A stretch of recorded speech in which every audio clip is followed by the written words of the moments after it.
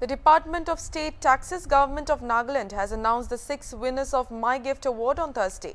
Tohuka Asumi, Wonchilo Muri, Arup Sutradhar, Terence Yanthan, Chumbeni Odyuo and Subong Marin have been declared the lucky winners of awards with Tohuka Asumi winning rupees 15,000 and the other five winning rupees 5,000 each. It may be mentioned that the award was initiated to sensitize and create general awareness on the usages and importance of GST invoices and encourage consumers to solicit GST invoices for every purchase of goods or services or both. The department has also announced second edition of the award by increasing the cash award up to rupees 50,000.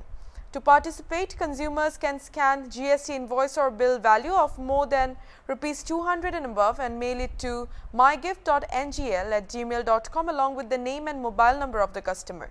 Up to three GST invoices or bills obtained from different shops issued within the state can be submitted as entry tickets.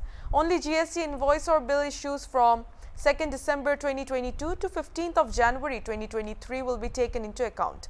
The last date for submission is 16th January 2023 and winners will be declared on 26th of January 2023.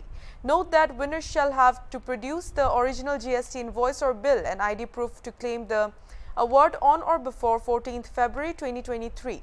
For more information, one can reach out to the contacts mentioned on the screen.